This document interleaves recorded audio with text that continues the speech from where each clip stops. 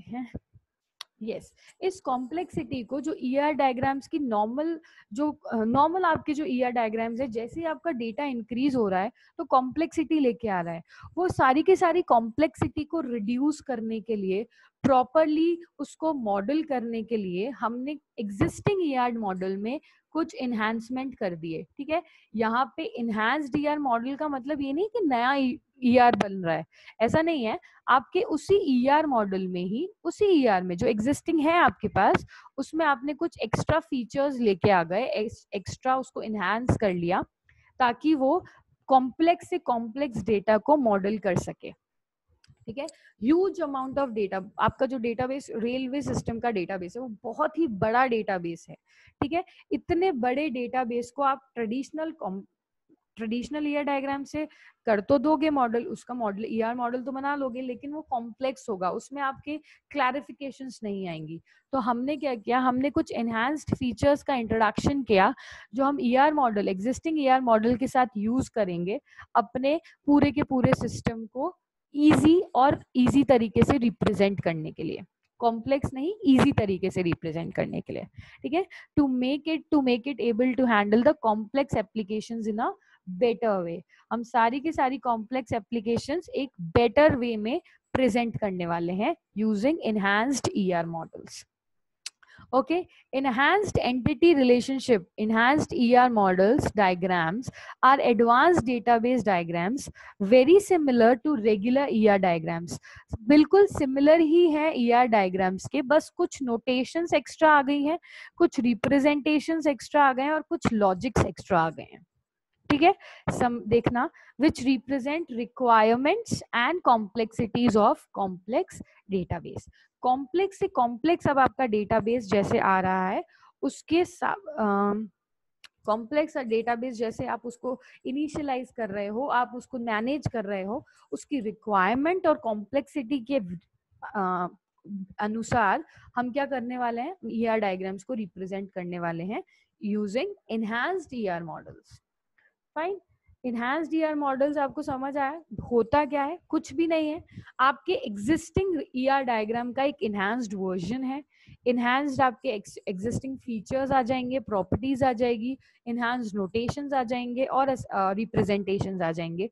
क्यों आ जाएँगे? क्योंकि हमको उस पर्टिकुलर ईआर डायग्राम की रिक्वायरमेंट और कॉम्प्लेक्सिटी को मैनेज करना है।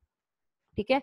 हमको उस पर्टिकुलर एग्जिस्टिंग ईआर डायग्राम को यूज़ करके वो कॉम्प्लेक्स ईआर डायग्राम नहीं बनाना अपने बड़े डेटाबेस के लिए, हम कुछ एडिशनल फीचर्स यूज़ करेंगे उसको सिंप्लीफाई करने के लिए। ठीक है? लाइक फॉर एग्ज़ाम्पल आप पहले पढ़ रहे थे सी आप सी लैंग्वेज पढ़ रहे थे फ़र्स्ट ईयर में। ठीक है? अब आप सी प्लस प्लस पढ़ रहे हो तो आपको डे वन पे थोड़ा ये बोला गया होगा कि सी लैंग्वेज से हमारे पास बेहतर होती है सी प्लस प्लस क्योंकि ये ऑब्जेक्ट ओरिएंटेड होती है सबसे पहली बात तो। यहाँ पे इनहेंस्ड वर्जन इनहेंस्ड फीचर्स हम यूज़ कर सकते हैं। इनहेरिटेंस हम यूज़ कर सकते हैं। हम रिकर्सिव uh, फ़ंक्शंस कोई एक फ़ंक्शन हमने एक बार कॉल कर दिया बहुत सारे इनहेंस्ड वर्जन हैं। हम ऑब्जेक्ट के थ्रू किसी भी मेंबर फ़ंक्शंस को कॉल कर सकते हैं किसी भी फ़ंक्शन किसी भी वेरिएबल को थ्रू ऑब्जेक्ट के थ्रू हम कॉल कर सकते हैं। ठीक है? तो ये क्या किया हमने? उस एग्जिस्टिंग लैंग्वेज को एक लेवल अप ले गए उसको एक, इनहेंस्ड कर दिया प्लस में। इसके लिए उसका नाम भी प्लस है। ठीक है?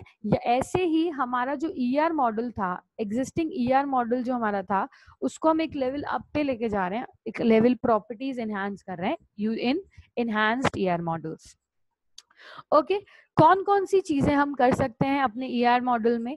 इट इज़ द डायग्रामेटिक देखना चार फोर मेन कैटेगरीज में हम अपने ई आर मॉडल को इनहांस्ड कर रहे हैं। It is the diagrammatic technique for displaying sub class and super class specialization and generalization union और कैटेगरी एंड एग्रीगेशन ठीक है? फोर इंपॉर्टेंट टास्क आपके फोर इंपॉर्टेंट टास्क आपके इनहेंस्ड ईआर मॉडल में हम डिस्कस करने वाले हैं।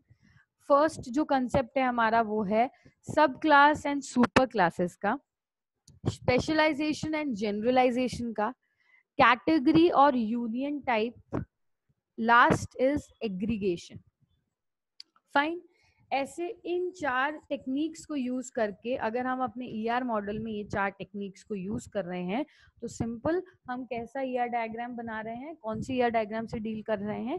इनहेंस्ड ई आर मॉडल से। ई ई आर ठीक है? E R E R model तो हम बोल ही रहे थे अभी तक। ई आर मॉडल अब हम इनहेंस्ड को कैसे रिप्रेजेंट कर लेंगे? ई ई आर मॉडल ठीक है? E stand for enhanced enhanced में। ये चार की चार अपन डिस्कस करेंगे डिटेल में। Sub class and super class कैसे रिप्रेजेंट होती है, क्या होती है? स्पेशलाइजेशन, जनरलाइजेशन क्या होता है? कैसे रिप्रेजेंट किया जाता है ईआर डायग्राम में? Category and union type and aggregation कैसे रिप्रेजेंट किया जाता है? Fine. E R yes Vaibhav?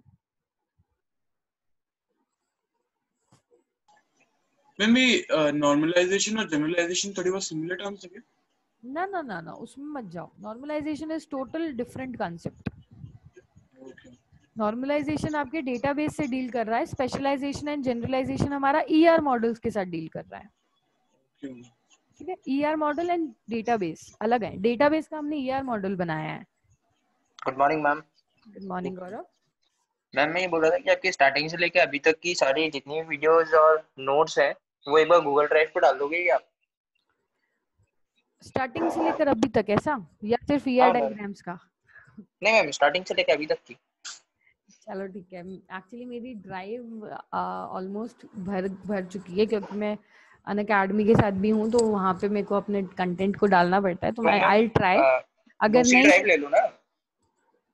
हाँ दूसरी ड्राइव लूँगी। Yes. तो अगर नहीं होता है तो अगर सिर्फ़ ईआर डायग्राम्स के डाल दूँ तो चलेगा?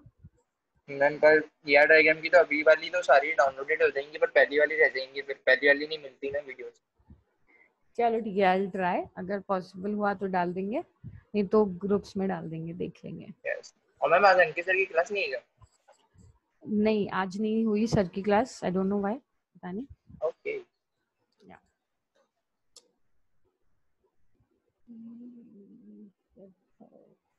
चलिए।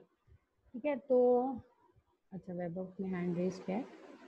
किस वैभव मैम वो आप जैसे एक और दूसरा अकाउंट बना के उस आई उस अकाउंट से साइन इन करोगे तो 15 जीबी स्पेस मिल जाएगी तो उसमें अपलोड कर दूँगा क्या बोल रहे हो? मैम तो यहाँ पे अगर इनहेंस्ड डीआर मॉडल्स हम पढ़ रहे हैं तो हमको ये भी पता पड़ेगा कि कौन सी कॉन्स्टेंट्स हैं। अच्छे से और अच्छे से हमको डिटेल में डिटेल में हम उसका रिप्रेजेंटेशन देख सकते हैं, कौन से इंस्टेंसेस इंक्लूड हैं, कौन से एंटिटीज इंक्लूड हैं। प्रॉपर्टीज़ को हम डिटेल में स्टडी कर सकते हैं यूजिंग दोज फोर स्टेप्स ठीक है? It includes all modelling concept of E R model सारे के सारे मॉडलिंग कंसेप्ट जो हमने पढ़े थे ई आर मॉडल के, वो सब ये पर्टिकुलर ई आर इंक्लूड करेगा। ठीक है? जैसे फॉर एग्ज़ाम्पल कार्डिनलिटी वाले फ़ंक्शन हमने पढ़े थे many to one many to many one to many one to one ठीक है? सारे के सारे कार्डिनलिटी रिलेशनशिप ये सब कुछ आप डिस्कस करने वाले हैं, सब कुछ इसमें इंक्लूड होगा ही होगा। चलिए नेक्स्ट थ्री पॉइंट्स अपन नेक्स्ट क्लास में डिस्कस कर लेंगे। किसी को कोई डाउट है तो पूछ लीजिए। Yes